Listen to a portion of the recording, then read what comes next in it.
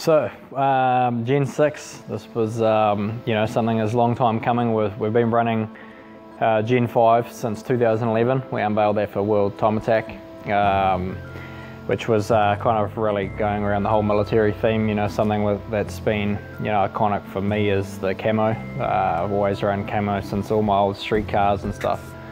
And um, for Gen 6 was really to go away from trying to redevelop it every year and go back to kind of where I started with the OG snow camo uh, when we first unveiled Firsty, which is uh, generation one of MADBUL.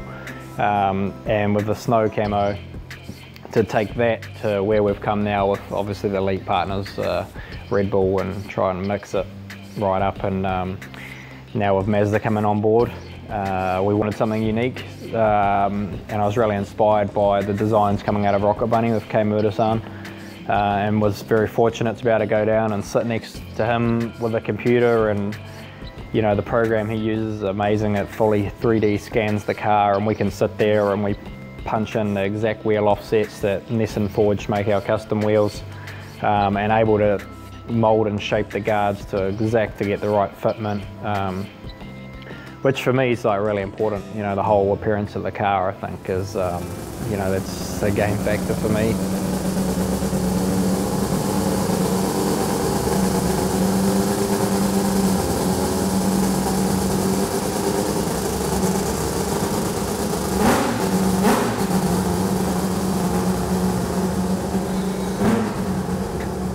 So, you know, this the Gen 6 um, rebuild has been a pretty rapid one. Um, the aero parts showed up pretty much two days after the final round of D1NZ.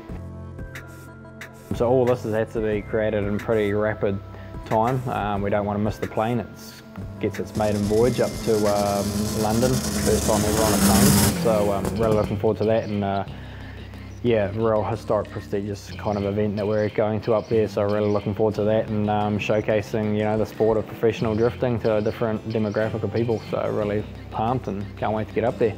Let's do it.